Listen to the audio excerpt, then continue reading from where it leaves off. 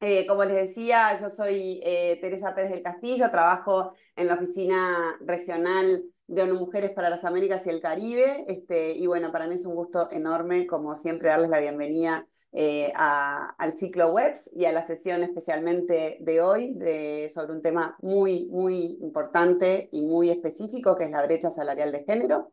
Eh, ahí se siguen sumando este, más personas, por eso le, demoro un poquitito, unos minutitos esta parte, porque sé que van ingresando de a poquito en el Zoom, así que voy dándoles la bienvenida y a, todos y a todas.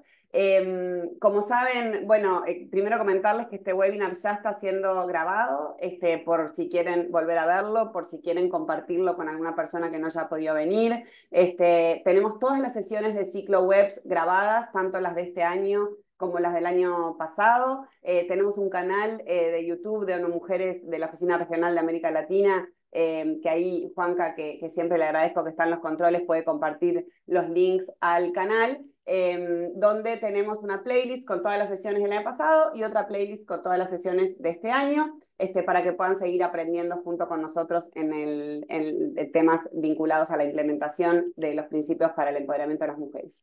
Em, en segundo lugar, yo siempre agradecer mucho a, todos los equipos, tanto de ONU Mujeres como de Pacto Global en la región, que nos apoyan mucho en lo que es difusión, convocatoria, selección de empresas, eh, búsqueda de nuevos casos. Eh, también eh, agradecer a nuestros puntos focales webs, o sea, los equipos de ONU, Mujeres que este, están siempre articulando en los territorios para que más empresas eh, se vayan sumando. hoy teníamos más de 500 empresas registradas, así que para esta época del año que estamos todos cansados de los webinars y cansados de, del año en general, me parece un, un súper número, así que esperamos que puedan aprovechar mucho la sesión y que puedan aprender, ¿no? Eh, hoy es la última sesión de este año, eh, seguramente muchos y muchas de ustedes nos acompañaron en todas las sesiones. Este ciclo fue una serie de, webinars que hicimos en 2022 y también en 2023 sobre temáticas específicas vinculadas a los webs, a los principios para el empoderamiento de las mujeres y su implementación, ¿no? Este, nosotros en América Latina somos la región con más empresas signatarias de los webs del mundo, este, son, ya estamos llegando a 2.700 empresas, pero nos pasa mucho que las empresas adhieren a los principios y después les cuesta como eh, implementar eh, temas muy específicos. Entonces, lo que hacemos en, este, en estos ciclos es justamente inspirar, motivar, contagiar a las empresas de la región eh, para que puedan pasar de los principios a la acción. ¿no? en este año tuvimos temas muy diversos, como las compras con enfoque de género vinculadas al principio web número 5, el marketing sin estereotipos también en, en relación a ese principio, las nuevas masculinidades, todos los temas de corresponsabilidad, de cuidados, hablamos de caso de negocios ¿no? y de cómo se vincula la igualdad de género con, con los negocios, Hablamos la sesión pasada de monitoreo y evaluación, ¿no? sobre la importancia de medir, de monitorear. Y hoy, en esta última sesión del ciclo, como les decía al comienzo, vamos a estar hablando de brecha salarial de género, este, un tema clave y que además se, es, un nudo estructural de desigualdad, ¿no? y es una de las injusticias más grandes que todavía em, eh, persisten en nuestra región y en el mundo, esto de que hombres y mujeres eh, ganando de forma desigual. Entonces, eh, simplemente por si alguien no conoce los webs, que también lo decimos siempre en la introducción, Women Empowerment Principles es la sigla en inglés, los principios para el empoderamiento de las mujeres. Eh, fueron creados por ONU Mujeres y Pacto Global hace ya más de 10 años, justamente para hacer una plataforma que oriente a las empresas, al sector privado, a gestionar con una mirada de igualdad de género y de empoderamiento de las mujeres. Em, son siete principios que justamente orientan eh, a transversalizar el enfoque de género en toda la gestión corporativa. Eh, en el mundo tenemos más, de 8, más o menos 8.400 empresas signatarias y como les decíamos, este, en América Latina tenemos como ahí el récord de empresas y, somos ejemplo de muchas cosas, así que invitarles a quienes no conozcan los webs a que ingresen ahí en la página web de los webs, webs.org, este, eh, o me escriban un mail, siempre Juanca también deja el mail en el chat para que puedan este, conectarse con nosotros, saber más de estos principios, eh, adherir a esta red eh, y, bueno, y, también ser parte del cambio que el mundo necesita. Solo para terminar esta parte introductoria, contarles que como todas las sesiones del ciclo, eh, vamos a tener tres bloques de contenido. Eh, primero, em, vamos a, yo les voy a hacer una mini introducción bastante cortita sobre qué es brecha salarial de género, algunos indicadores, algunas eh, algunas, algunos conceptos como básicos. Eh, después en el segundo bloque em, vamos a tener a dos empresas webs de nuestra región, una argentina, otra que es, nació en Uruguay, pero está en Chile, está en Estados Unidos, eh, que nos van a contar cómo vienen manejando este tema, qué cosas han hecho, este, y, bueno, y darles, inspirar a todas las empresas que nos acompañen hoy a también seguir el camino de, gestionar el tema de la brecha salarial de género. Y en el tercer bloque siempre decimos queremos que se lleven una herramienta muy concreta para gestionar la temática del día de hoy. En este caso vamos a tener eh, la presentación de una herramienta que desarrolló Mujeres, también con OIT en el marco del programa Ganar Ganar, que se llama DIR, Diagnóstico de Igualdad de Remuneración. Es una herramienta justamente para que puedan este, diagnosticar eh, su, su, brecha o su, igualdad de remuneración en sus empresas. Eh, bueno, hoy, como les decía, es la última sesión del ciclo, eh, pero les vamos a dejar ahí también los links a nuestras redes sociales de, de, ONU Mujeres. Tenemos Twitter, bueno, ahora se llama X, pero bueno, tenemos X, tenemos Instagram, tenemos Facebook y tenemos LinkedIn, para que sigan nuestras redes de la Oficina Regional de ONU Mujeres. Eh, y se vayan enterando, si bien hoy es la última sesión de este año, para el año que viene, eh, todos los contenidos que vamos a estar trayendo y todas las eh, iniciativas que tiene ONU Mujeres desde la oficina regional. Entonces, hasta acá la parte introductoria, ahora voy a compartir pantalla y les voy a, em, a comentar lo que les decía vinculado al contexto general sobre la temática. Ahí, Juanca, me avisa si se está viendo la presenta. Por Raquel o Mati, me, chiflan si se ve bien. Sí. Sí, se ve perfecto. Buenísimo. Buenísimo. Bueno, entonces, como les decía recién, vamos a tener como una mini introducción sobre esto eh, que es la brecha salarial de género en el mundo laboral. Eh, para quienes recién se nos están sumando, soy Teresa Pérez del Castillo, trabajo este, como punto focal webs para América Latina y el Caribe. Estoy basada en Uruguay, pero trabajo para la Oficina Regional para las Américas y el Caribe. Primero concepto súper clave y básico que es remuneración, ¿no? Cuando hablamos de brecha salarial de género o de diferencias en la igualdad de remuneración, hablamos de el salario sueldo ordinario básico o mínimo que cualquier eh, y cualquier otro emolumento en dinero o en especie pagados por el empleador directa o indirectamente a sus trabajadores, trabajadoras, en concepto del empleo de este último. Básicamente es todo el, dinero o especias que ganamos eh, cuando hacemos algún trabajo. A mí siempre me gusta empezar por un número, ¿no? Este, porque eh, hoy decíamos, hay muchas empresas cuando ponemos en agenda este tema de la brecha salarial de género, em, es como cierta resistencia o esto en mi empresa no pasa, ¿no? Y la realidad es que los números indican que más o menos en nuestra región y en el mundo la brecha salarial de género, esto es la diferencia entre la remuneración de hombres y de mujeres, más o menos ronda un 22% con ciertas variantes. Este es un estudio de OIT del año 2018, eh, ahora el año que viene este, se va a hacer un nuevo estudio, una nueva ronda de este estudio como para, para ver eh, si hemos evolucionado o involucionado, esperemos que no. Entonces, la brecha salarial de género existe y es una realidad, ¿no? Entonces, eh, hoy antes de, iniciar la sesión decíamos, em, las empresas, o, está estimado que el 90% de los trabajos en el mundo están en el sector privado, entonces las empresas tienen un rol que jugar porque son grandes este, generadoras de empleo eh, y por ende pueden sumar o no a esto de la brecha salarial de género que, como les decía, ronda más o menos el 22%. Este informe, a mí siempre en esta parte inicial de contexto me gusta dejarles eh, algo eh, de, información para que lean, para que estudien, para que sepan que esto, este, que, hay números, que hay indicadores, este, eh, y, digamos que en esta temática de brecha salarial de género, el informe más referente es el Informe Mundial sobre Salarios, este, de la OIT, ¿no? de la Organización Internacional del Trabajo, ILO, las siglas en inglés. Entonces ahí está esta publicación, que de nuevo es del año 2018-19 y que va a haber una nueva edición en el 2024 para que puedan tener una referencia.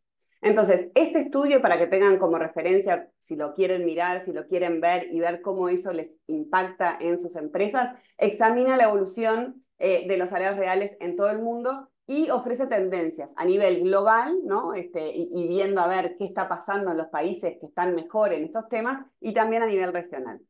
Abarca más o menos 70 países, este, que quiere decir que se contemplan alrededor del 80% de los empleados y empleadas asalariadas de todo el mundo, ¿no? O sea, realmente es una muestra importante este, que, que tenemos que mirar. Y la conclusión eh, o, el, resumen de este estudio de la última edición que se, que se corrió es que las mujeres siguen ganando eh, más o menos un 20% menos que los hombres. Eh, otra referencia que en este webinar no, podía dejar de mencionar es Claudia Golding, ¿no? que es la ganadora del Premio Nobel de Economía, que ha trabajado un montón en estos temas. O sea, si la googlean van a encontrar todas o muchas de las investigaciones que ella ha hecho en esta materia, incorporando un montón de variables, por ejemplo, la maternidad, ¿no? Este, y cómo en realidad la maternidad o el ser mamás impacta también en la brecha salarial de género. Eh, es la tercera mujer en ganar un premio Nobel en la historia, pero es la primera mujer que lo ganó ella sola, ¿no? Este, en, otra, en las otras dos eh, ganadoras eh, era una mujer con un equipo, ¿no? Este, Claudia Golding lo ganó sola y justamente su tema más, más, este, más esencial de, de estudio y por el cual fue reconocida con el premio Nobel tiene que ver con la brecha salarial de género y con las distintas este, variables que impactan a esa brecha. Entonces también les recomiendo que la googleen, que la busquen, que la sigan. Acá quería dejarles algunas referencias al convenio, eh, al convenio de eh, OIT, em, que es el convenio que garantiza la igualdad de remuneración para hombres y mujeres trabajadores por un trabajo de igual valor sin discriminación razón de sexo. ¿no? Eh, este es uno de los ocho convenios fundamentales de la OIT que tiene 173 ratificaciones. Eh, en América Latina eh, está ratificado este convenio en Argentina, en Ecuador, en El Salvador, en México, en Panamá, en Perú y en Uruguay. Esto quiere decir que existe eh, una, una, institucionalidad, que existe una política pública, que existe un compromiso a nivel de, de, los gobiernos de llevar el tema de brecha salarial de género, o más bien de acortarla o cerrarla, este, em, a, la realidad. ¿no? Entonces, eh, menciono esto porque está bueno también que ustedes como empresas eh, puedan eh, estar al tanto de que existe alguna ratificación en sus países que avala este, que se trabaje o que, o que se empuje este tema de promover la igualdad de remuneración. Acá también una, una cosa interesante con respecto a la aplicación del convenio y es que implica examinar la igualdad de remuneración en dos niveles, ¿no? Una cuestión es a nivel del trabajo, ¿no? Este, de trabajos de igual valor, eh, y también a nivel de la remuneración en sí misma, ¿no? O sea, el mismo trabajo, ¿no? Entonces, cuando comparamos este, las, las remuneraciones, eh, siempre decimos, eh, comparamos trabajo versus trabajo, el mismo trabajo, por ejemplo, una gerencia, ¿no? Una gerencia general, una gerencia financiera, pero también este, se comparan trabajos que generan igual valor sin ser exactamente la misma posición. Yo siempre pongo ejemplo de las, de las empresas de los couriers ¿no? o empresas de logística, en las cuales probablemente la gerencia de logística tenga un valor para esa compañía muy similar a una gerencia financiera. ¿no? Entonces, está buenísimo comparar eh, una gerencia contra una gerencia, una jefatura contra otra jefatura, pero también está bueno evaluar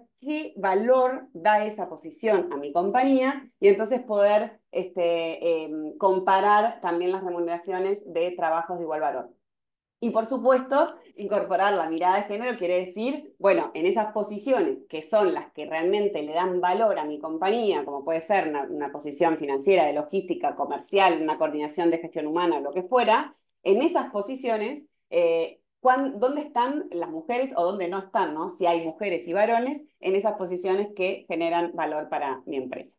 Eh, entonces, eh, parte de este convenio lo que dice es que los estados deben promover y garantizar la aplicación eh, a todas las personas trabajadoras de este principio de igualdad de remuneración. Em, se promueve que se aplique a través de la legislación nacional, ¿no? los sistemas obviamente legalmente establecidos y reconocidos para la fijación de, de remuneración, y también el tema de los contratos colectivos entre empleadores y trabajadores. Y ahí es que empieza también a tener un rol clave las empresas como empleadoras este, en esto de promover la igualdad de, remuneración.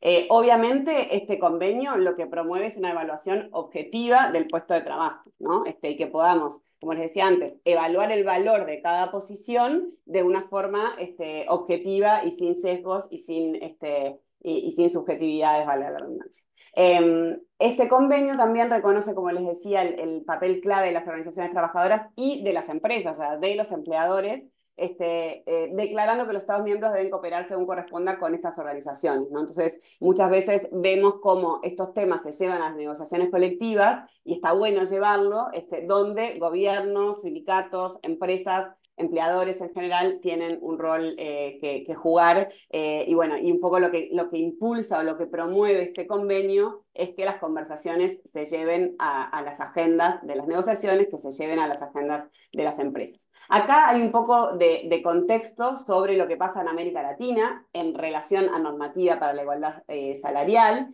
y si bien se ha avanzado mucho, y esto pasa en, varios aspectos este, legislativos en nuestras regiones, ¿no? que muchas veces la legislación avanza, pero en la implementación de esas legislaciones es un poquito más lenta, ¿no? Eh, pasa un poco eso con los temas de, igualdad de remuneración porque este, eh, no hemos logrado em, en la práctica reducir de forma sustancial eh, la, brecha salarial de género que es una forma de discriminación y que por ende se, se vincula también con los principios web. Ya saben que tenemos el principio web número 2 que tiene que ver con la no discriminación.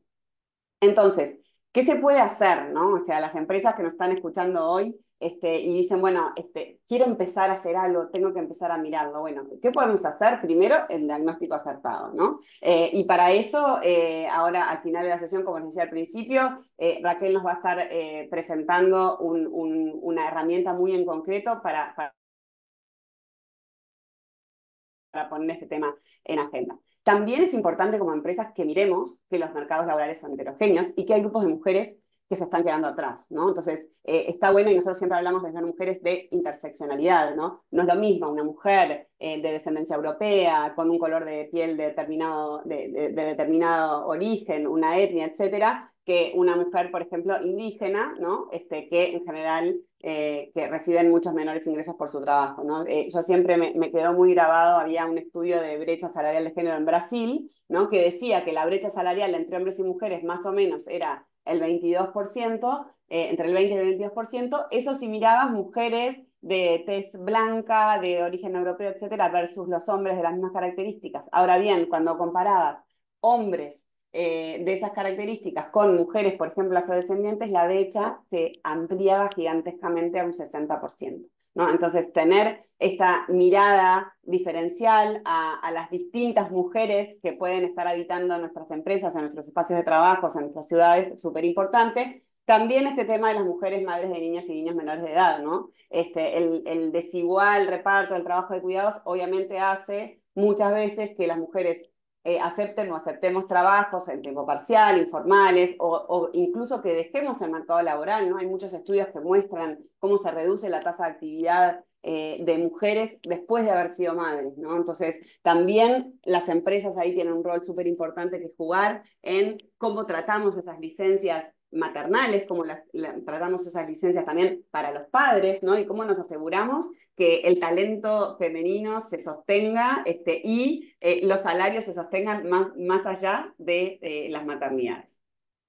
Entonces, eh, hay una propuesta eh, metodológica de OIT que, que, está también detallada en ese estudio, donde, se, donde hay una parte que se explica bien, ¿no? De la brecha salarial de género, pero siempre lo que nos ocupa y nos preocupa es esa otra parte que todavía no sabemos explicar, ¿no? En la parte explicada tiene que ver con hombres y mujeres que tienen un distinto nivel educativo, una experiencia eh, laboral diferenciada, este, o qué tipo de actividad realiza, ¿no? Ahí hay todo otro tema de, división sexual del trabajo y de cómo están distribuidos los trabajos entre hombres y mujeres, eh, o las horas que se dedican. Pero también hay una parte no explicada que tiene que ver con la discriminación laboral que lamentablemente todavía persiste y existe. Entonces, eh, ahí también, de nuevo, tenemos como empresas una, una mirada o una postura que tomar eh, para entender si una vez que mido mi brecha salarial me da que existe, bueno, entender eh, o intentar explicar de dónde viene, viene esa brecha. Eh, bueno, voy a, voy a, pasar para adelante porque no me quiero pasar demasiado este, tiempo, pero este, lo que más queríamos con esta primera parte introductoria es que tuvieran este panorama general, pero sobre todo que pudiéramos eh, invitarlas, motivarlas, promover que puedan realizar este compromiso eh, explícito con, con, esta agenda y sobre todo con, con la igualdad de remuneración que es tan importante, no solamente por un tema, porque es una de las injusticias más grandes de este mundo, ¿no? que hombres y mujeres simplemente por ser hombre o por ser mujer este, ganen diferente, eh, pero también la diferencia en remuneración hace tiene consecuencias como mucho más allá del ingreso, ¿no? Tiene consecuencias como de abandonar el mercado de trabajo, este, eh, o eh, que, bueno, que las mujeres em, se vayan quedando atrás también en su autonomía económica con todo lo que eso implica. Entonces, hasta ahí va eh, nuestra parte introductoria, y como les decía ahí en esta última slide, vamos a dar ahora paso a nuestro panel. Como les decía al principio en la, en la sesión de, de las sesiones de nuestro ciclo webs, Siempre tenemos tres grandes bloques de contenido, un primer bloque introductorio que les hice recién, ahora un panel de conversación y después una herramienta. Entonces, eh, vamos a ir eh, al panel de conversación y ahí Juanca seguro nos ayuda para que, nos, eh, para que yo pueda presentar a quienes nos acompañan hoy en el panel, a quienes ya desde ya les doy muchísimas las gracias. Estuvimos conversando antes de, de arrancar. Este, esta es una época en la que todos y todas estamos a mil, entonces tener eh, hoy a Matías y, a Feli en línea y, comprometidos con este tema es súper importante. Le damos la bienvenida, son dos empresas web de nuestra región eh, que nos van a estar contando un poco bien en concreto eh, cómo, cómo vienen abordando esta temática. Entonces, primero les presento a Matías Reina, que lo ven ahí en pantalla, es el, es el CEO y uno de los cofundadores de Abstracta que es una empresa eh, orgullosamente de origen uruguayo, eh, que es eh, líder global en soluciones de calidad de software, o sea, ya, ya la, temática y el rubro en el que está abstracta nos habla mucho de, de esto de, igualdad de género. Matías es ingeniero en computación, tiene más de 17 años de, de experiencia en consultoría, en investigación y desarrollo de ingeniería de software. y él mismo define que siempre ha tenido una misma misión, que es impactar positivamente en la calidad de vida de las personas y de las comunidades mediante la eh, tecnología. Eh, bueno, y eh, tiene de nuevo un gran compromiso con, con la excelencia y también se autodefine como entusiasta pragmático y soñador. Esa parte me encantó de la descripción de, de, su bio que me mandó, así que súper bienvenido, Matías, y ya te voy a, dar la palabra antes de, eh, de, introducir también a Felisa Colombo, que es CEO de, Travel Pharma. Eh, Felisa eh, tiene base en Argentina. Travel Pharma es una pyme de viajes sustentables y personalizados, viajes de negocios, reuniones, eventos, congresos, y a su vez tiene un área especializada en la atención de la industria química, cosmética y farmacéutica. Este, eh, con el liderazgo de, Felisa, eh, Travel Pharma ganó uno de los premios webs en Argentina en el 2021 y bueno, ya lidera un montón de iniciativas de impacto social, este, como ser círculos de sororidad, igualdad para los negocios, planes de estudios este, para, para colectivos LGBTIQ, para migrantes, este, iniciativas que han logrado apoyos de, ministerios, y bueno, ella tiene un posgrado además en turismo sostenible, responsabilidad social y un diploma en género. Así que bueno, tenemos a dos grandes empresarios, empresarias y testimonios para que nos acompañen eh, esta mañana.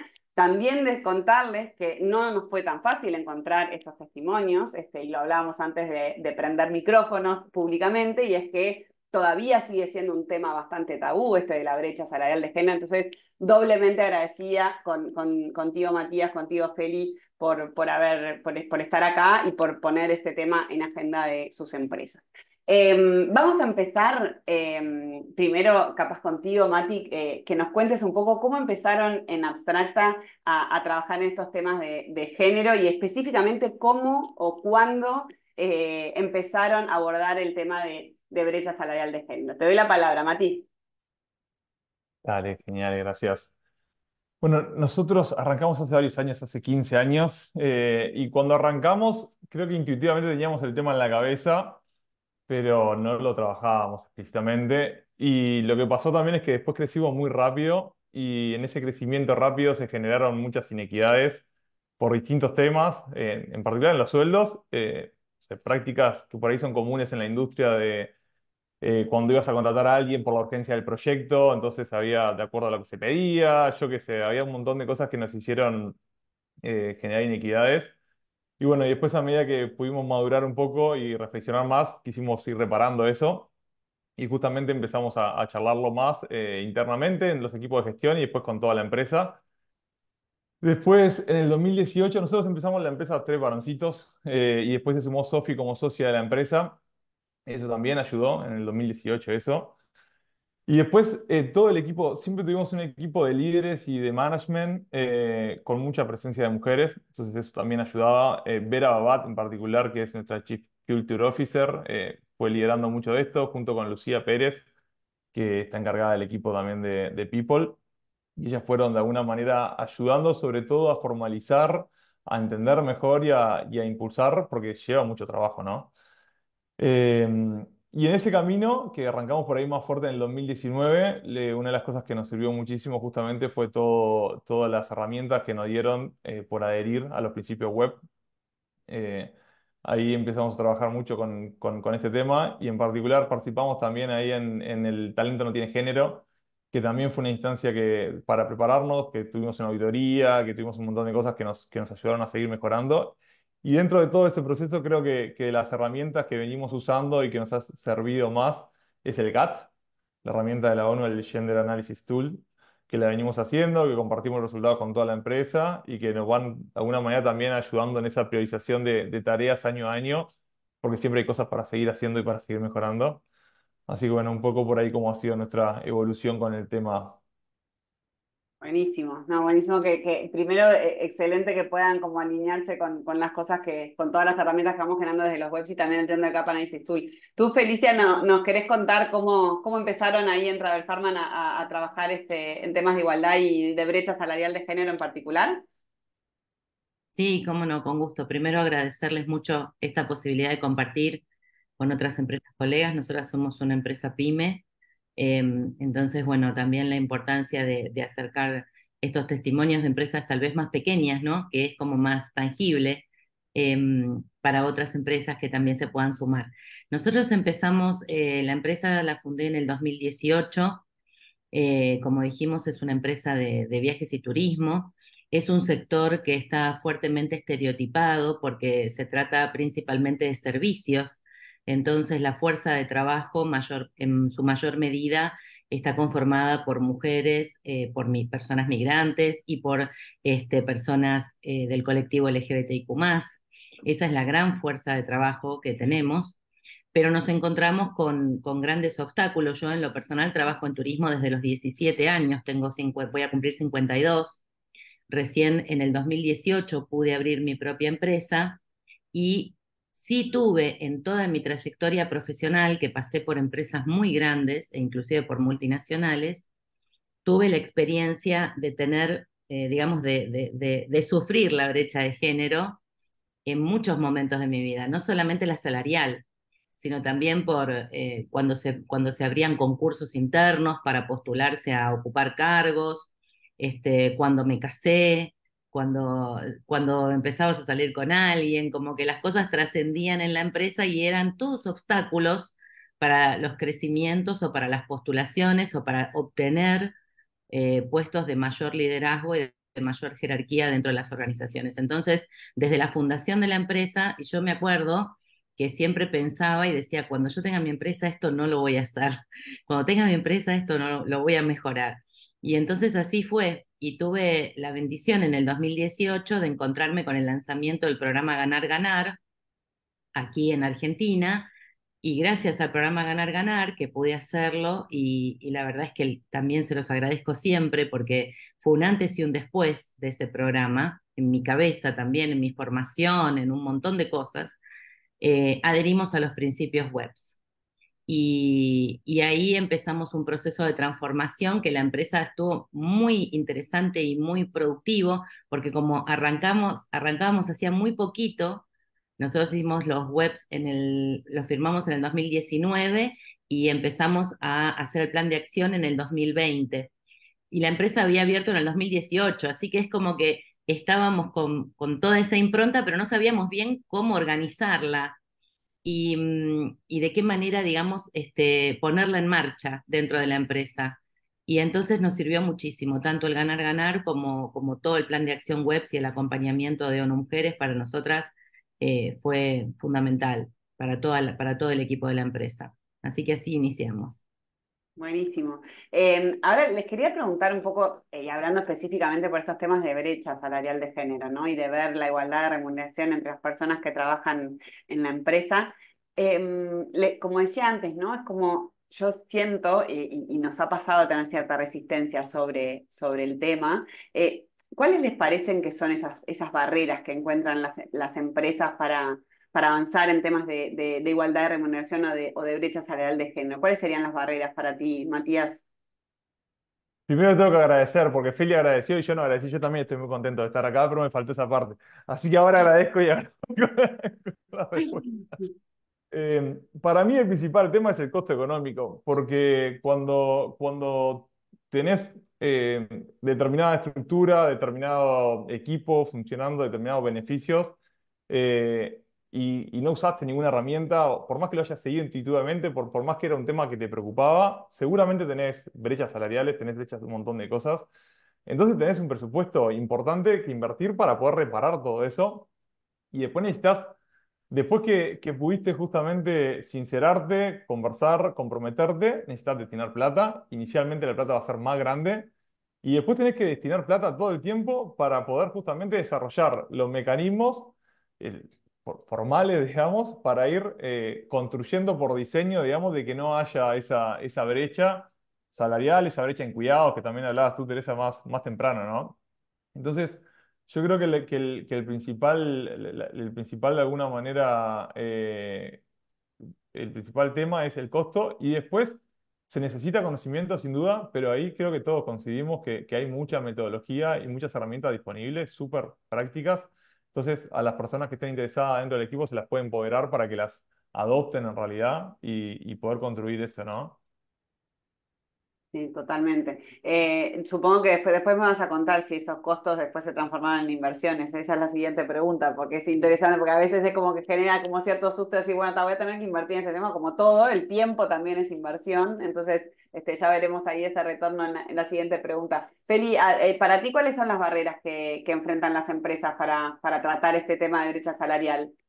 Bueno, en nuestro caso, mira, justo ahí leí en el chat una pregunta de cuántos colaboradores, de cuántas personas tenemos en el equipo. Nosotras somos, somos una pyme, bueno, nuestro equipo es de siete personas, así que es una empresa pequeña.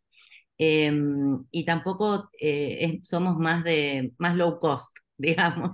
O sea que por ahí apunto un poco más a lo que, a lo que vos decías. Em, nosotros, en nuestra empresa, la verdad que no, bueno, también por el contexto, piensen que es una empresa de turismo, entonces en el 2020 nosotros estuvimos parados el trabajo hasta aquí en Argentina, hasta casi fines del 2021.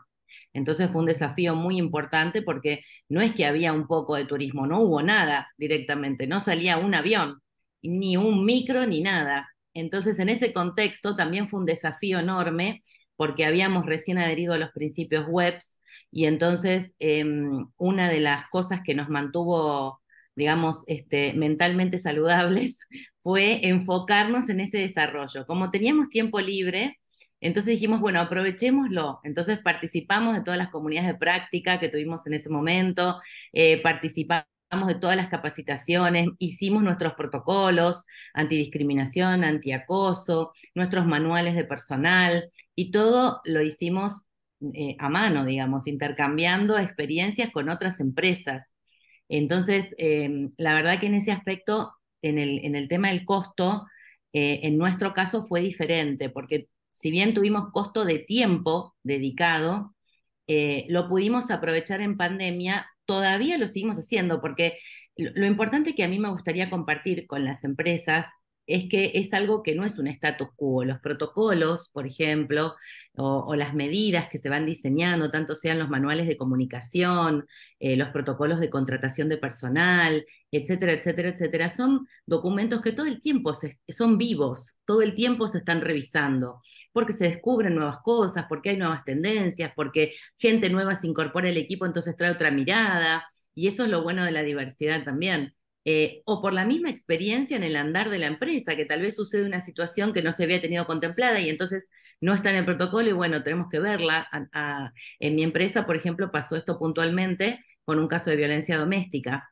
Nosotras, eh, yo en el protocolo em, antiviolencia no había contemplado eh, la violencia doméstica, solamente la había contemplado puertas adentro de la empresa y justo tuve un caso donde no lo había tenido contemplado. Entonces en el andar lo tuvimos que modificar.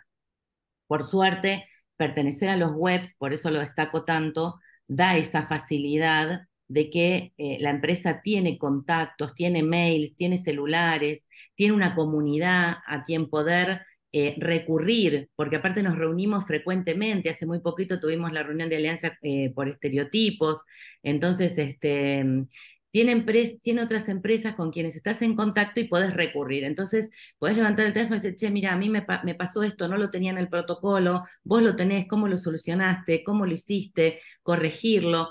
Y eso es un intercambio muy rico, súper rico, que en realidad prácticamente no tiene costo, digamos. Lo que sí es cierto, como dice Matías, que sí hay que tener conocimiento y prepararse. Preparar el personal, preparar a las personas que van a estar a cargo de este proyecto, que no hace falta que sean personas que estén exclusivamente dedicadas a eso, pueden hacer su trabajo y en algún momento, una vez por semana, una vez cada 15 días, armar una pequeña reunión de equipo donde las personas intervinientes aporten ideas nuevas o qué es lo que se quiere modificar de distintos documentos o nuevos protocolos o nuevas cosas. Nosotros, por ejemplo, eh, voy a dar un ejemplo cortito y con esto cierro. Me acuerdo que siempre que veníamos a estas reuniones, eh, una de las cosas que más me, angustiaba a mí era que siempre había empresas muy grandes, eh, que, muchas de ellas nos conocemos, ¿no? De los COP, multinacionales. Y yo me acuerdo que cuando hablaban de sus protocolos de violencia, decían, bueno, nosotros tenemos un 0800 donde la empresa tiene que llamar, que es anónimo, gratuito y tal. No, yo tenía una empresa de siete personas, y digo, yo como hago un 0800. Era imposible para mí pensar eso. Entonces, tuvimos que recorrer un camino de adaptación donde, bueno, ¿qué hacemos? Ok, no tengo un 0800, pero tengo un estudio de abogados que trabaja para la empresa que puedo poner a disposición. Tengo un estudio de un equipo de, de, psicoterapeutas y de psicopedagogas y psicopedagogos que puedo poner a disposición. Entonces lo vas como llevando a la realidad de cada una de las empresas. Eso es un aprendizaje riquísimo y que además después se puede compartir con otras empresas pares que desean incorporarse a la temática y también como, como cuando yo empecé a recorrer esto, no saben cómo hacerlo. Entonces es muy, muy agradable. Muchas gracias, Feli. Sí, y siempre los, los ciclos este, y, todas las comunidades de aprendizaje y de práctica justamente buscan eso, ¿no? De que capaz que hay cuestiones que a, mí no se me ocurren. Este, yo siempre pienso, y yo trabajé toda mi vida anterior a ONU Mujeres en, en empresas, eh, y, yo antes no sabía qué, qué, significa gestionar con una mirada de género, ¿no? En general las empresas me dicen, ay, sí, nosotros acá empleamos a muchas mujeres. Sí, perfecto, ese es un indicador, ¿no? Es un, demográfico interesante de que si estás dando empleo a mujeres, pero también hay un montón de indicadores, y lo veíamos en la sesión pasada, que se pueden ver, que se pueden medir. Mati, vos querías decir algo que te veo ahí levantando la mano y también si querés contestar ahí que nos están preguntando de cuántas personas trabajan en Abstracta que está en varios países. Dale. Nosotros somos cerca de 150 personas ahora. Eh, yo lo que, lo que ahí quería comentar es de eso que decía Feli, de, cómo adaptarlo al, tamaño. Y, creo que cuanto antes arrancamos, en realidad, y de alguna manera diseñamos la forma de hacerlo, mejor más nos ahorramos tiempo de un montón de cosas en, cuando vamos creciendo, ¿no? Hay un libro ahí que a mí me gusta que se llama Trailblazers, de, que cuenta la cultura de Salesforce, que es una empresa muy grande de, de tecnología también y dice que en una reunión ejecutiva en, la, casa del CEO, eh, una de las personas que era parte del directorio le dijo que en Salesforce había brecha salarial y él le dijo que no de ninguna manera y en su momento le dijo, si hay brecha yo me comprometo a, a subsanarla, ¿no? Hicieron un estudio y él pensaba que si había brecha iba a ser poquita plata, terminó siendo un 10% del presupuesto que, tuvieron, que tuvo que salir a pedirlas a los accionistas para poder compensar todas las brechas que había. Y encima lo que aprendieron fue que después, como es una empresa que va adquiriendo todo el tiempo empresas, tenían que todos los años prever 2 o 3% del presupuesto para justamente compensar esas brechas salariales en cada empresa que iban adquiriendo. Entonces, ¿cómo a veces de alguna manera de, nuestros sesgos, de alguna manera de, que nosotros pensamos que no, que, no va a estar pasando porque, yo qué sé, no, no, no se te ocurre, digamos, por qué, pero después hay un montón de cosas que operan que por ahí no las controlamos, no las conocemos, no estamos conectados sobre todo, bueno, a medida que vas creciendo tenés de alguna manera como, como más eh, incertidumbre por ahí. Y si no lo pensamos, si no lo diseñamos, va a haber brecha y va a haber seco y va a salir plata. Entonces, creo que, que el tema es asumir que va a tener un costo de plata. Y después lo otro de tener esa confianza en el equipo y esa honestidad para poner los salarios públicos, para poder decir esto se gana por, por, por los distintos roles, por distintos trabajos también. Es un tema que ahí ya no tiene que ver el tema de la plata, pero sí tiene que ver la confianza y la honestidad en el equipo para poder hacer temas públicos. Acá en Uruguay en particular son temas súper tabú en general. Entonces a nadie le gusta hablar de plata, a nadie le gusta hablar... Nosotros venimos de ingeniería, menos nos gusta hablar de inteligencia artificial, no nos gusta hablar de plata. Entonces, eh, poner el tema sobre la mesa, hablar de plata y que es un tema importante y que, afecta justamente a, la equidad en el equipo, es un tema, es eh, creo que es un, es un, como es una traba también muchas veces en la cultura. Por más que yo diga, bueno, voy a poner el presupuesto arriba de la mesa, aparte implica poder hablar y tener esa confianza, ¿no?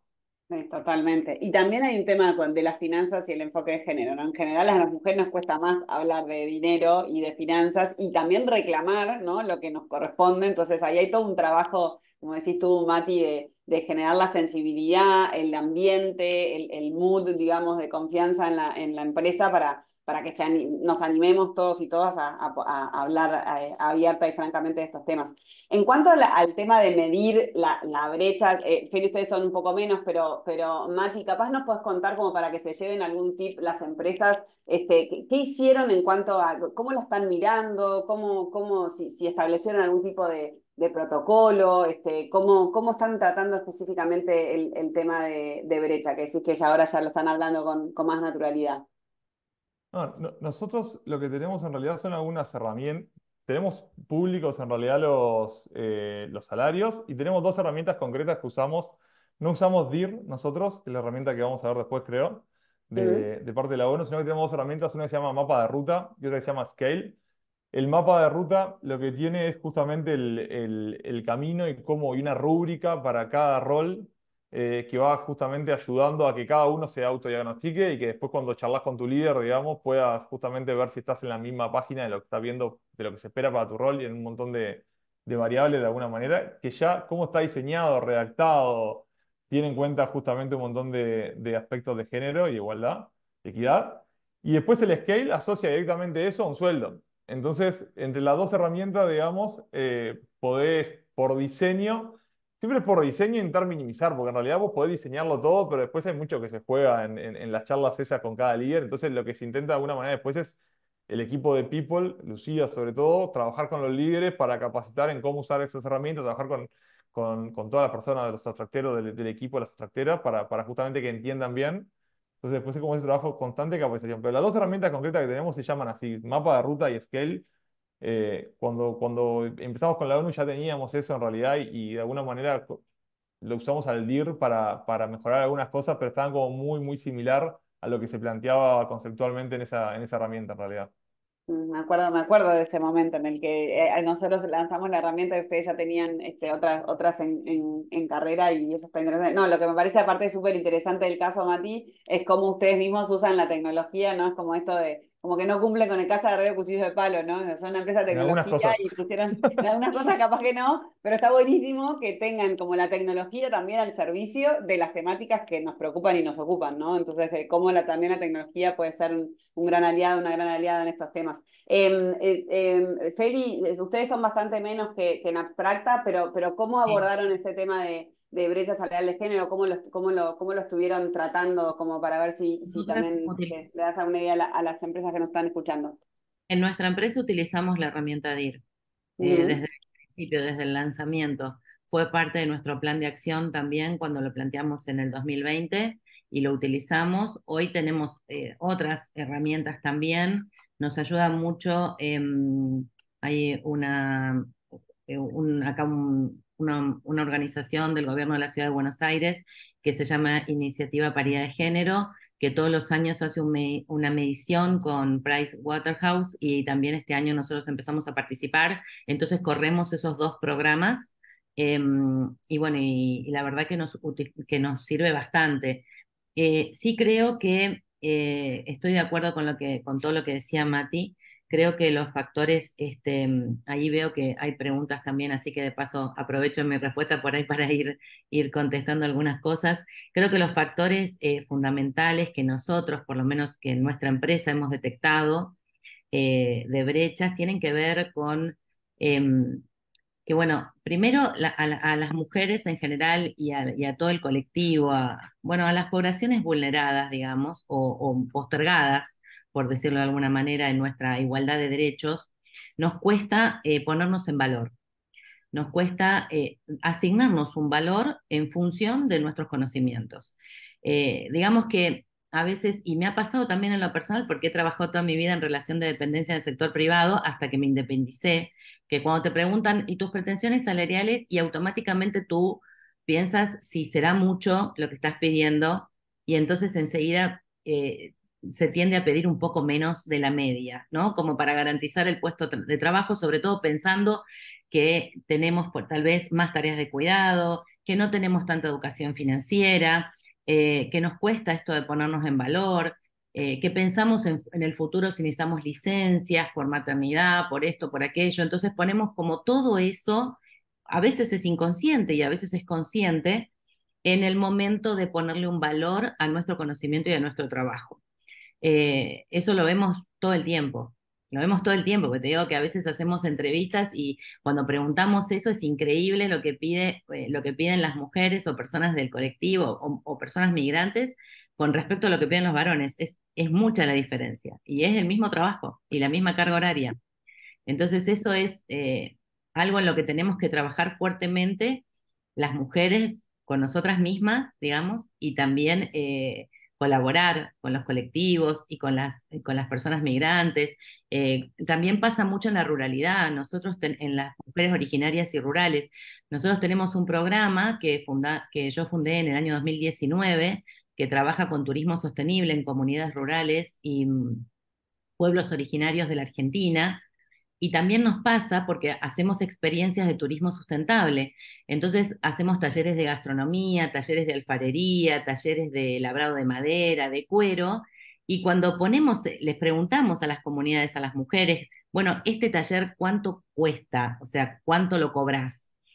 Y hay mujeres que nos dicen, ¿y qué te lo puedo cobrar? No sé, 500 pesos, mil, así. O sea, cuando vos sabes que eso cuesta mucho más. Y a veces pasa que, por ejemplo, van a comprar, también hay abusos, porque como esto se detecta, hay empresas multinacionales que van a comprar, por ejemplo, toda una producción a unas teleras o unas tejedoras en el norte, en la Puna Jujeña, y le van a comprar toda la producción por dos pesos y después las ves en las vidrieras del hotel Alvear o de otros hoteles internacionales con marcas, digamos, de multinacionales cotizadas en dólares. Entonces, esos abusos existen. Sí, sí, eh, hay, como muchos, muchas puntas que atender, ¿no? O sea, eh, muchas puntas que atender. Y, ahora eh, me estaba mirando también el, chat, hay muchos comentarios, muchas reflexiones. Entra el tema de cuidados también y de las licencias maternales. Ese es un gran nudo estructural de desigualdad, ¿no? El tema del trabajo no remunerado y cómo la carga de cuidados este, em, recae mayormente en las mujeres y cómo eso implica que muchas mujeres no logren dedicar este, tiempo suficiente al trabajo remunerado y eso también las va dejando un poco atrás. Entonces, eh, como siempre decimos, los webs justamente son esa, esa, eh, los principios para el empoderamiento de las mujeres, te da como un panorama general de todos los temas que podemos tratar este, y en los temas de no discriminación están los de, los de licencias maternales parentales y este otro de, de brecha. Eh, ya obvio nos estamos yendo un poco de tiempo, entonces les quería hacer como una última pregunta. Primero, y discapacidad y discapacidad también, discapacidad también y, el cuidado de las personas adultas mayores, porque eh, cuando hablamos de tareas de cuidado automáticamente se nos vienen, digamos, eh, las infancias, ¿no? Pero también están las personas adultas mayores, que son muchas las que las familias que tenemos a cargo personas adultas mayores o personas con discapacidad. Entonces, en esas brechas también hay que trabajar. Totalmente. Bueno, ahí muchos preguntan si pueden ahí tipear Mati y, y, Feli las herramientas que están usando. Este, ahora, eh, en, la, última parte de la sesión, vamos a estar presentando la herramienta que, que promovemos desde las mujeres, que se llama DIR, Diagnóstico de Igualdad de Remuneración. Ahí Raquel se les va a contar bien, ahora ya la voy a presentar. Este, pero eh, pueden eh, también, y le están dejando ahí también los links. entonces, hay diferentes herramientas, lo importante es empezar, ¿no? Y voy a cerrar la conversa preguntándoles eh, si estuvieran en serio, ustedes ya han avanzado bastante, Mati contó sus herramientas, Feli contó que están usando la herramienta DIR, que es la que va a presentar Raquel a continuación, etcétera. Eh, imagínense que hay, este, de las cientos de empresas que nos están escuchando ahora, hay una que no, no tiene idea por dónde empezar. Entonces, ¿cuál sería su recomendación de este, dar un primer paso. Empezamos por ti, Mati, ¿cómo les dirías? A ver, arranquen por...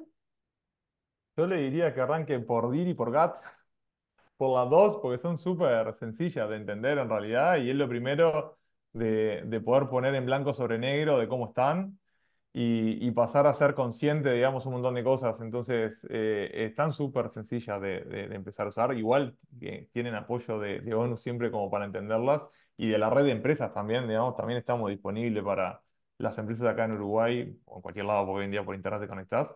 Pero esas dos herramientas, eh, lo primero que, que arrancaría sin duda.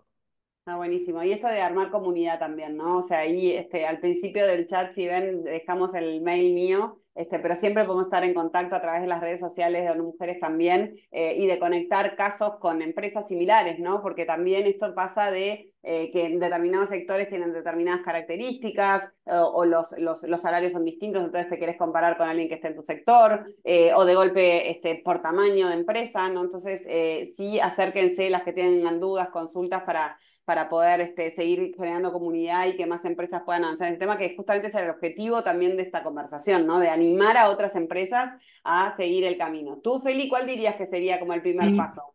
En mi caso diría que el primer paso, bueno, es adherir a los webs, indudablemente, porque allí ya tenés el acceso al sitio web donde podés buscar en tu, en tu zona, en tu país, en tu ciudad, otras empresas que ya están adheridas, porque está el mapa, entonces ya te puedes empezar a contactar con esas empresas para pedir ayuda y decir, bueno, ¿cómo hiciste esto? ¿Cómo empezaste? ¿Cómo es aquello? Y por supuesto contar con los mails de ustedes que siempre están para que también hagan los cruces y las presentaciones, que siempre están dispuestas a, crear comunidades de, intercambio y de intercambio de experiencia y buenas prácticas, y también incluir, en, eh, digamos, pedir y demandar em, el, el abordaje de estas temáticas a las cámaras y gremiales empresarias de cada una de las del, rubro de la empresa donde cada una trabaje y cada uno trabaje. Creo que eso también es fundamental porque el rol de las gremiales empresarias y las cámaras empresariales es indispensable para que podamos tener también una contención y, y, adhieran también las cámaras a los webs, porque también las cámaras pueden adherir. Este, es indispensable para que, bueno, toda la comunidad de ese mismo rubro o de ese mismo mercado, digamos, empiece a compartir un mismo espíritu. Exacto, buenísimo. Bueno, ahí ya se llevan unos tips bien concretos de parte de los dos, de Mati y Esteri. Muchísimas gracias por habernos acompañado esta mañana. Hay un montón de comentarios en el chat. Yo ahora, cuando en este último tercer bloque, este, donde vamos a presentar justamente esta herramienta de ONU Mujeres, que yo ya la conozco, entonces voy a tratar de mirar mientras Raquel les haga la presentación el chat para que no se queden sin respuestas. Eh, gracias, Feli. Gracias, Mati, por haberte tomado este rato para conversar con nosotros. Siempre inspirador saber que hay empresas que están moviendo la aguja, que están avanzando, que están gestionando, que están tomándose los temas en serio, así que les agradezco y, si quieren les doy un minutito más a cada uno para que se despidan y a cada una, Mati. Se me cargó Feli, que hablé siempre yo primero. Gracias, Mati. Muchas gracias. Bueno, no, agradecerles de nuevo esta posibilidad eh, de, poder contar nuestra experiencia. Ojalá que les haya gustado, que más empresas, aunque sean empresas pequeñas, no, no se amedrenten, que se puede firmen los webs, contáctense con sus oficinas de, ONU Mujeres, es empezar. Yo siempre eh, le digo a todo mi equipo, el día pasa igual, digamos, dentro de un rato ya va a ser de noche, pero durante el día hicimos, pusimos algo, aunque sea un, poquito, muy pequeño, eh, para marcar una diferencia. Entonces eso es súper importante porque con un poquito cada día, al fin del año se termina logrando bastante pero en algún punto hay que, hay que empezar. Así que agradecerles muchísimo por incluir a las pymes y a las empresas pequeñas eh, en estos espacios. Muchísimas gracias. Gracias a ti, Feli. Ahora sí vamos a cerramos contigo antes de dar paso a la presentación de la herramienta. Mati. Bueno, yo también muchas gracias ahí por todo el apoyo en este, en este camino y también alentar a, que todos se, se sumen. Eh, a mí me gustaría decir que eh, en este tema en particular hay que hacerlo porque es lo correcto, ¿sí? Eh, después había alguna pregunta que, decía, bueno, ¿qué impacto tiene económico? Yo creo que de alguna manera tener la tranquilidad en el equipo de que estamos haciendo lo correcto, en particular en este tema que es tan importante que nos afecta. Hoy más temprano hablábamos con Tere, como tenemos niñas, eh, eh, también como nos pega más de alguna manera estar tranquilo de que estamos construyendo un mejor lugar para nuestros hijos también. Creo que, que de alguna manera tener esa tranquilidad de que estamos haciendo lo correcto y que tenemos equidad en nuestro equipo, nos permite después poner energías en, en lo que tenemos que hacer, en adaptarnos al, al, al mundo que viene cambiando, en, en, enfrentar nuevos desafíos. Entonces creo que el mayor impacto es por eso, tener esa tranquilidad, esa confianza en el equipo de que estamos haciendo lo correcto, porque es lo que hay que hacer, y después poner las energías en otras cosas, en otros problemas que tenemos que resolver. Así que bueno, alentar a que, a que arranquen con esto. Fabuloso, sí, totalmente. Viste que también esto de, de, poner una semillita en cambiar el mundo y, y, cambiar lo que es injusto también es un motor de motivación para mucha gente, ¿no? Entonces, este, genera como un compromiso de bueno, trabajo en una empresa que se tomó este tema en serio, ¿no? Este, y eso genera como un movimiento muy positivo. Muchísimas gracias a, a, los dos, a las dos, Mati, eh, Feli, estaremos en contacto siempre a las órdenes, grandes promotores y promotoras de los webs eh, y de las herramientas de ONU Mujeres. Así que bueno, ahora eh, voy a dar paso a la parte final de la, de la sesión y para eso voy a presentar eh, a Raquel, a quien agradezco muchísimo que esté esta mañana, esta tarde, ya está en Madrid en realidad. Eh, Raquel es nuestra especialista en, en temas de Em, de políticas de empoderamiento económico de las mujeres en la oficina regional eh, justamente de, de, ONU Mujeres para las Américas y el Caribe. Eh, y Raquel estuvo en, el, en todo el, el diseño y en, y en, el desarrollo de esta herramienta de, que le llamamos DIR, Diagnóstico de Igualdad de Remuneración. Así que nadie mejor que Raquel para poder presentárnosla. Eh, y bueno, y que ojalá sean muchas las empresas que a partir de hoy, tal como hicieron eh, Abstracta, tal como hizo Travel Pharma, Felicia, Matías, eh, puedan también empezar a utilizarla. Así que te doy la palabra, Raquel, y mientras te escucho también voy a estar mirando que, nadie se quede sin respuestas en el chat. buenos días de nuevo. Mm, bueno, pues nada, buenos días, buenas tardes por aquí, buenos días por allá. Primero que todo, Tere, muchísimas gracias por, por la organización, bueno, no solo de esta, de esta sesión, ¿no? sino de esta, de esta serie de ciclos webs que mantienen esta comunidad de, de empresas comprometidas, eh, dinámica, abierta y, no solo aprendiendo, sino también compartiendo aprendizajes. Aprendí mucho escuchando a, a Matia Feli, me encantó compartir con vosotros también esta jornada y también escuchar de, bueno, de es como muy satisfactorio poder escuchar que lo que vamos avanzando también nos es, es de utilidad, ese siempre es el objetivo, ¿no? Bueno, yo quería tomar un, un, ratito, no va a ser muy largo, pero sí les voy a traer un PowerPoint porque me parecía que era importante poder visualizar gráficamente ¿no? lo, que, lo que buscamos con esta, en esta herramienta. Cuando nosotros empezamos a, a, apoyar o acompañar a las, a las empresas signatarias de los webs en, en, su, en su camino, vimos que uno de los, justamente lo, comentaba, ¿no, Mati? Uno de los elementos es que parecía como que en el tema de brecha salarial nadie, nadie, nadie tenía una brecha salarial, ¿no? Nosotros tenemos una política igualitaria. Entonces, quisimos dar una herramienta que fuera muy práctica, sencilla, pero que sí permitiera a las empresas, primero como mm, de una manera totalmente anónima y totalmente sin necesidad de compartir datos con ninguna otra institución, poder mirar si realmente se estaba respondiendo a esa, esa política de, igualdad de remuneración y si no, qué, elementos podrían ayudar a, digamos, a, corregir esas desigualdades.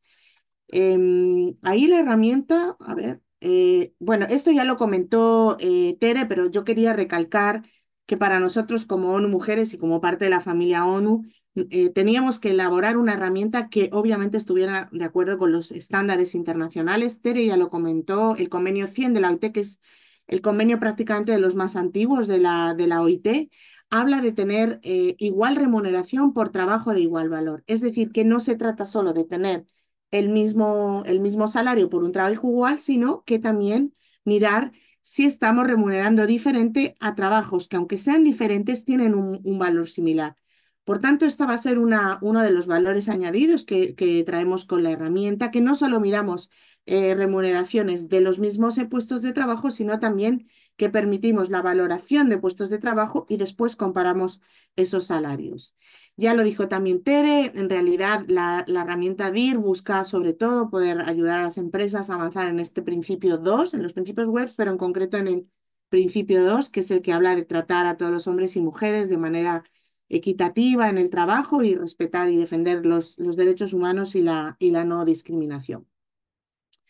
Eh, yo quería añadir algunas, bueno, varias de las razones por las que uno debe eh, mirar la, los temas de brecha salarial y también en este caso, si, les, si la encuentran de utilidad, poder usar la, la herramienta de ir para ello. Los mencionaron algunos de ellos, Mati y también eh, Feli, junto con la introducción de Tere, pero yo quería recalcar.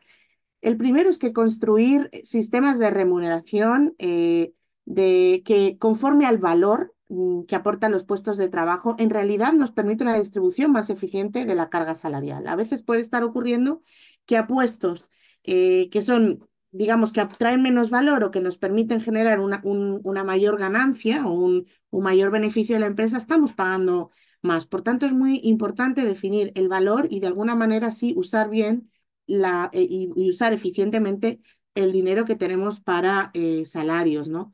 Em, lo otro es que hay un tema eh, que aporta la igualdad salarial y es el tema de que los empleados y empleadas entiendan y haya una transparencia en, los, en los, métodos, digamos, retributivos, de manera que esa transparencia ayuda también a entender cómo está uno siendo retribuido y, de alguna manera eso ayuda a, a, cumplir con ciertos objetivos porque sabes que vas a ser recompensado por lo mismo. Entonces, tener una claridad em, y en, en cómo se distribuye, cómo se retribuye al personal, eh, hace que haya una, una, mayor satisfacción y un, mayor un mejor ambiente laboral y a la vez una, una motivación de empleados y empleadas, pero particularmente empleadas, pues como dijo Feli, ¿no? Porque van a ser conscientes de que no su remuneración o su tratamiento en la, en la empresa no va a depender de que sean mujeres.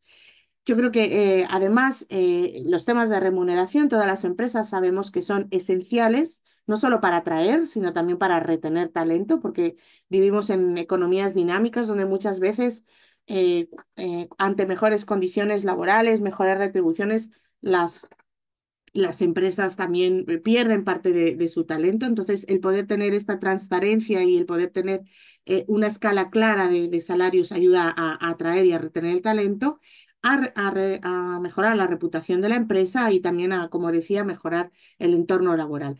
Todo esto en realidad son beneficios. Alguien decía, es muy costoso de aplicar la DIR, ¿cuánto cuesta? Bueno, la DIR es gratuita y, hacer un diagnóstico de igualdad de remuneración con la DIR lo que les va a costar es el tiempo que tengan que invertir sus, equipos de, recursos humanos o quien la vaya a utilizar para, para, para recuperar los datos, que tampoco son tantos, y para después analizar. y a partir de ahí, eh, tomar esas medidas eh, correctivas, donde normalmente, eh, como decía Mati, ¿no? muchas veces hay un, hay un factor tiempo para poder igualar o para poder cambiar los, las escalas salariales para ser más equitativos, pero no necesariamente tiene por qué ser un coste, sino una mejor redistribución, como digo, del, importe salarial.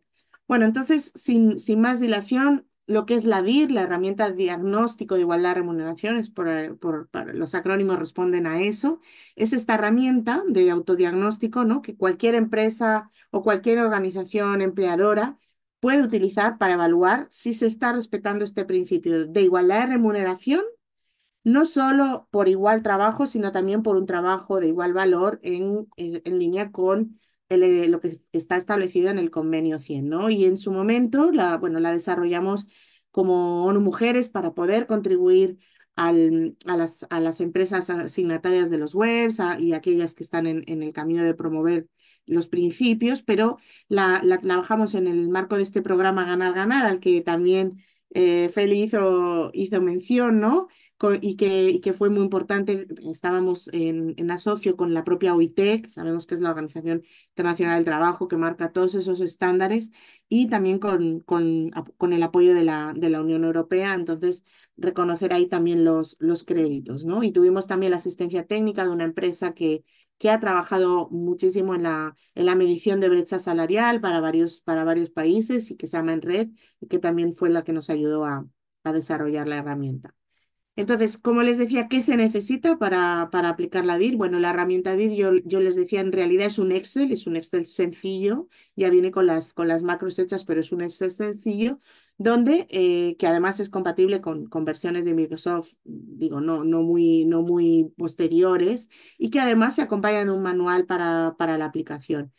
Em, donde en realidad en las primeras pestañas yo hoy no voy a poder entrar a la herramienta al detalle, pero básicamente hay una primera pestaña donde ustedes cargan los datos y a partir de ahí la herramienta hace exactamente todos los cálculos. Yo les voy a mostrar algunos de los ejemplos que se pueden obtener con, y de qué tipo de indicadores se pueden obtener una vez que se ha metido eh, la información. Puede ser eh, realizado por cualquier organización, como digo, que, cuente con los datos de una plantilla de personal trabajadora y con sus, sus montos salariales. Y se requiere también contar con información de datos sobre el puesto de trabajo. ¿Por qué? Porque, como digo, vamos no solo a mirar las diferencias entre puestos iguales, sino también vamos a poder usar la DIR para valorar los puestos de trabajo y en función de eso ver si existe una diferencia en la remuneración aunque sean puestos diferentes, pero que tengan igual valor, ¿no? Y como les insistimos, el uso de la herramienta es totalmente gratuito. Al final de la presentación les voy a dejar un, enlace donde se la pueden descargar. Bueno, eh, la herramienta entonces lo que tiene eh, mm, de valor añadido respecto a muchas de las que existen en, el mercado a día de hoy es esta comparación no solo de remuneraciones de hombres y mujeres por un mismo puesto de trabajo, sino que la herramienta también permite, en primer lugar, determinar objetivamente el valor de los puestos de trabajo y en ese sentido, una vez que ya se tienen valoradas las distintas categorías de puestos de trabajo, se puede hacer una comparación de las remuneraciones que, que, reciben esas categorías y ver si está existiendo una brecha salarial también por eh, trabajos de igual valor para mostrarles un ejemplo de lo que se puede lograr o lo que se puede visualizar. Como les decía, se entra en un Excel, se carga la información de la plantilla eh, salarial y un primer pantallazo que, podrán ver en el propio Excel es esta primera eh, visual sobre las brechas salariales por un mismo puesto de trabajo. ¿no? Entonces, en el ejemplo que, les traemos, vemos que, por ejemplo, puestos como el de teleoperador o teleoperadora, en el, en el caso del ejemplo que analizamos, eh, o el de comercial o el de jefe y jefa, eh, tienen un, de promedio los, los, los, salarios de los hombres son mayores en promedio que los salarios de, de mujeres, ¿no? En otros, en otros puestos, sin embargo, el salario es más, es más equitativo por el mismo puesto. Muchas veces ahí también lo interesante es entender por qué esta brecha se da, porque a veces las empresas tienen una base que es igual, pero los pluses varían, ¿no? Y muchas veces en, en, los temas justamente de igualdad de género, todo lo que comentaron las personas que me antecedieron, la, la disponibilidad de los horarios, etcétera, la, posibilidad de viajar, los pluses por desplazamiento, etcétera, hacen que los pluses vayan generando también esa desigual eh, remuneración. Pero bueno, la, la, la, herramienta nos da esta perspectiva de cuál es la brecha solo por el, por el mero puesto de trabajo, la diferencia entre hombres y mujeres, pero aquí en la segunda parte viene, digamos así, la parte interesante, la parte donde yo creo que una empresa también empieza a poder mirar y a entender más, y es esta parte de determinar objetivamente el valor de los puestos de trabajo. ¿no? Ahí lo que la herramienta permite es hacerlo en base a, a, cuatro factores, que son cuatro factores de relevancia que la propia OIT también define en sus estándares de igualdad salarial. Uno es por la calificación, otro es por las condiciones de trabajo, otro es por el esfuerzo y otro es por la responsabilidad.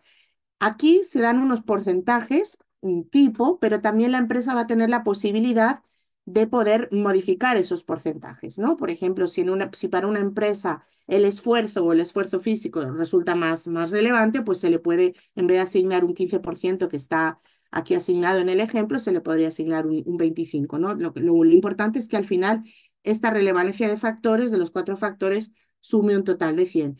Y dentro de cada uno de estos factores va a haber también a la vez una serie de subfactores. No, no, no voy a entrar al detalle, pero bueno, como digo, son factores que están em, eh, detallados por la propia OIT para eh, definir cómo deben ser, eh, cómo deben armarse y determinarse el valor de los puestos de, de trabajo. Entonces, las empresas también pueden definir que para el puesto eh, en cuestión que, quieren valorar, eh, pues a lo mejor el área, por ejemplo, de formación académica importa más un 5%, eh, no, no importa un 5%, importa un 15%, o el tema de la experiencia para el puesto que se va a analizar mm, no importa un 5%, sino que importa menos, importa un cero. Entonces, todos estos porcentajes también son modificables por la empresa justamente para ajustar la valoración y las características de la valoración al determinado puesto de trabajo que se quiere valorar. Eh, les traigo el ejemplo, ¿no? Eh, en, un, en, una empresa lo que, se, lo que se buscó era, para comparando dos, dos puestos de trabajo, el de operario y operaria y teleoperador y teleoperadora, cómo construíamos esa valoración de puestos de trabajo. Entonces, bueno, por las valoraciones que se, que se hacían, eh, se veía que el puesto de operario operaria, pues a nivel de calificación iba a sumar 113 puntos, mientras que el de teleoperador y operadora eran 104. En el caso de la responsabilidad, el operario operaria tenía 115 puntos, en cambio en el teleoperador o teleoperadora 146. El esfuerzo en, en un caso eh, sumaba 66 puntos y en el otro 86. Eh, en el caso de las condiciones de trabajo 49 y 10 llegamos un poco a la conclusión de que sumando los distintos factores, aunque en cada uno de ellos hay diferencias, pero sumando los distintos factores, tenemos que ambas posiciones, operario, operaria o teleoperador, teleoperadora, suman un puntaje o tienen un valor similar en el puesto de trabajo. ¿no? Eh, Tere, traía el, el, ejemplo del director de logística y del director financiero en un caso, pero incluso en casos de puestos totalmente diferentes en su, en su operativa, como pueden ser estos dos, también podemos realizar este ejercicio y llegar a un valor del puesto de trabajo final. Después de haber hecho este puesto de, em, esta valoración de puestos de trabajo estándares, lo que la DIR nos va a permitir, y, digamos, la, y esto lo calcula de manera automáticamente, es ver por puestos de trabajo em, cómo, cómo están los salarios para la media de los hombres y para la media de las mujeres.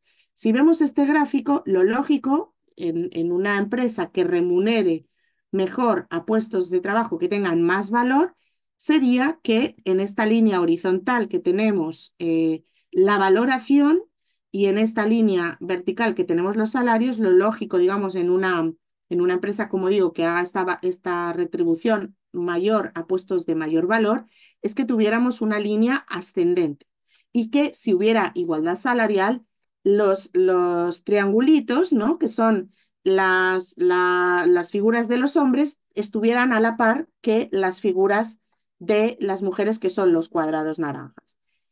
Cuando yo les, les ponía el ejemplo ¿no? de operario, operaria, teleoperador, teleoperadora, en el caso anterior, que veíamos que tenían una em, eh, valoración o un valor similar para esta empresa. ¿no?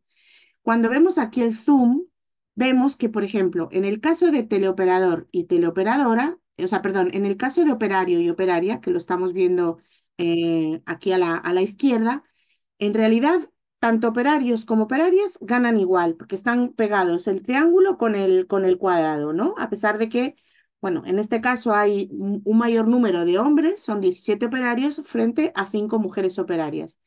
Sin embargo, cuando miramos el puesto de teleoperador y teleoperadora, vemos que a pesar de que tienen un valor parecido al de operario y operaria, eh, en este caso las mujeres, el cuadradito, está ganando menos que el, el teleoperador y que, y que el operario y operaria. Por tanto, ahí sí que estamos identificando una brecha salarial. Casualmente, una brecha salarial en un puesto de igual valor, pero que está más eh, eh, feminizado, porque tenemos cinco mujeres frente a dos hombres en este caso.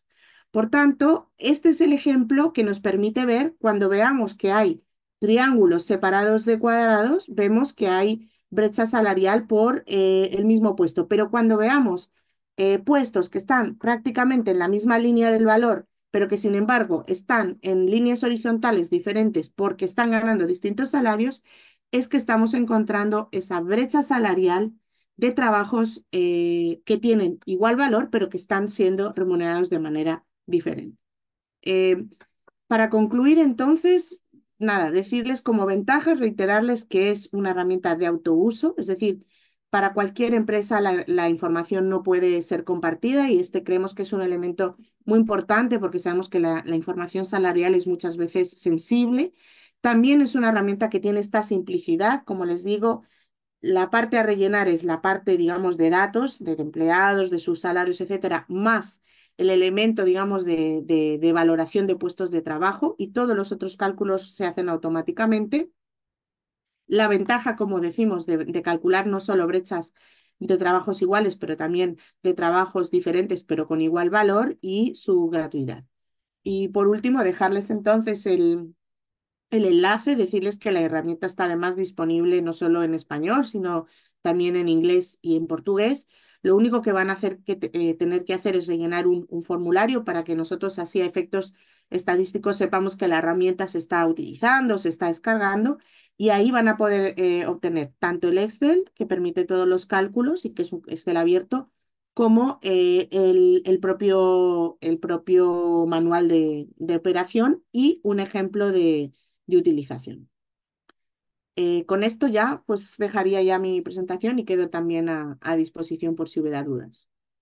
Muchísimas gracias, Raquel, por haberte tomado el tiempo. Siempre es un placer escuchar, porque cada, siempre se aprende algo nuevo. O sea, si bien venimos en la herramienta, creo que en 2018 o 19 por ahí, este, cada vez que la escucho Raquel aprendo un poquito más. Así que muchísimas gracias por haberte sumado esta mañana, esta tarde para ti que descanses. Este, ahí quedaron un montón de, de, preguntas. Yo fui respondiendo las preguntas, este, pero ahí para, para ir eh, cerrando, primero agradecerles a todos y a todas haber estado hoy. Estuve mirando que hay gente de Argentina, Mar del Plata, Ciudad de México, Buenos Aires, Ecuador, eh, alguien de Viña del Mar en Chile, Guayaquil en Ecuador, Iquitos en Perú, es en la selva peruana, me encanta, Costa Rica, Madrid, eh, de la Swiss de México, de Veracruz en México también, gente uruguaya, peruana, de Sao Paulo, Guatemala, Venezuela, de La Paz, de Nicaragua.